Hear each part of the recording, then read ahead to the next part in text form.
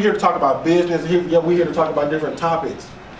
But I don't want to miss connecting with you guys. I feel like that's the most important thing that we can do today. My parents couldn't afford haircuts every week. You get what I'm saying? I, I don't have the Cinderella story to tell you that everything was just peaches and cream. Like, don't let the the clothes and the image fool you because my story don't look like this. You get what I'm saying? And since we are the man, Yeah. right, and since we leading by example, it starts with us. Right. Because who else gonna do it? Who else gonna do it? And it's not gonna be running your mouth. Mm. It's gonna be through your action. a lot of black men, you know, think we can't be emotionally expressive. I'm, I'm here to say I'm here to say it's cool to cry, bro. You know what I'm saying? It's cool to call your brother up and, and vent. Are. Do you know who you are? What is your target? What are you building? What is your brand? Who do you who do people identify you as? Uh, what is your marketing? How do you market yourself?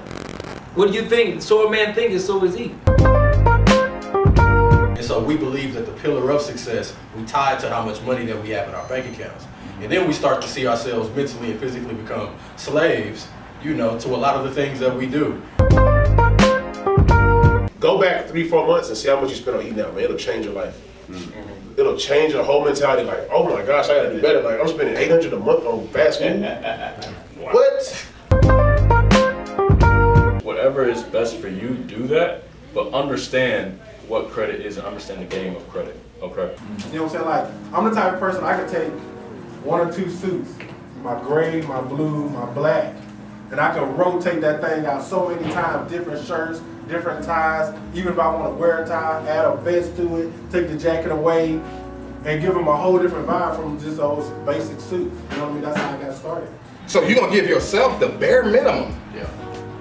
but you're gonna give somebody else more than you would offer yourself.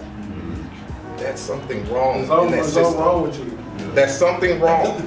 We want to pass down these things to our kids, right? We want to be able to pass down these things to our significant others, our wives, our mate. We want to be able to tell mama, let's go to this pool class. Let's let's get in that Zumba class. Come on, let's get active.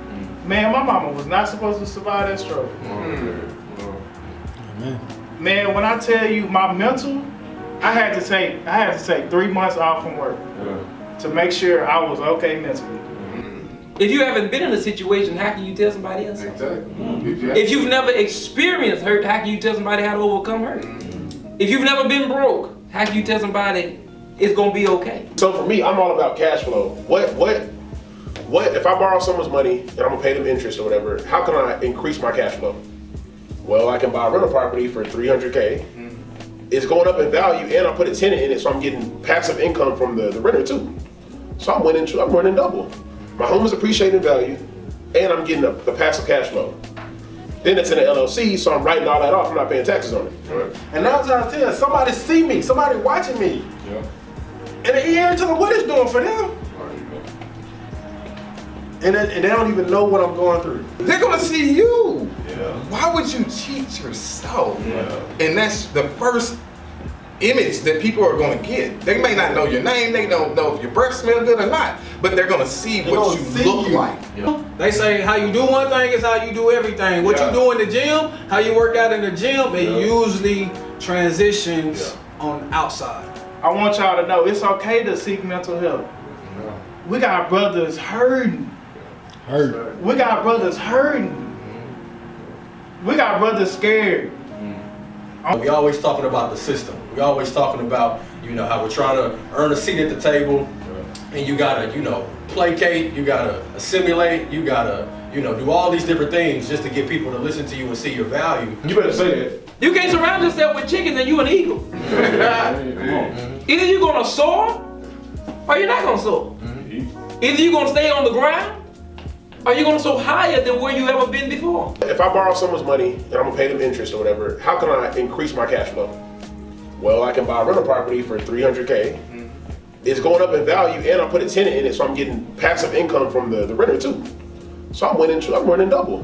My home is appreciating value and I'm getting the, the passive cash flow. Then it's in an LLC, so I'm writing all that off, I'm not paying taxes on it. We shouldn't be categorizing life as good or bad. Those are experiences that you should just look at them as just that. As above, so below. It's two sides to everything. All you have to do is become aware of the other side and get there. It's gonna be you going to the gym every day. It's gonna be you getting in the kitchen Yep. every day, right? It's gonna be those things, and once they see that, not just for a little bit, once they see that consistency, Why? then they'll start to Why? emulate that. So society has placed this on men where we we gotta get hit with life. Mm. We gotta get hit with these Mike Tyson punches and just keep on going. Mm. And when we fall, you know, it's, it's like get your ass up, keep Yeah. on going. Mm-hmm. And so I think a lot of that is rooted in purpose and understanding why you are here on this earth and how you're going to use your talents and gifts to really get out and touch other people's lives and reach out and help other people understand what their identities are and what they should be rooted in so that they can go do the same thing for other people. Every place doesn't carry your same frequency. Mm-hmm. Every person doesn't carry your same mindset. Mm-hmm. You have to surround yourself with people with the same mindset as you. You see the game? Mm-hmm. That's what these people do. The rich folks, Yep. they get the real estate and they get all these tax write-offs, bro. They don't pay no taxes, man. Mm. That's the game, man. I feel that I am a strong, disciplined Christian man who cares about loving himself and others. Okay. I feel like I'm a voice for the underrepresented. Okay. Um, I'm a child of God and I'm a healer. I feel like I'm an influencer, a motivator. Man, I'm I'm a vibe, man. Do a lot of things. yeah, I'm a Bring energy. vibe. An example. I like that. What to be and what not to be. Mm. That's Oh, for, uh, for my little brother, for my community, you know, like-minded individuals. I'm a I'm a God fearing man. Um, I just like a calm storm, really.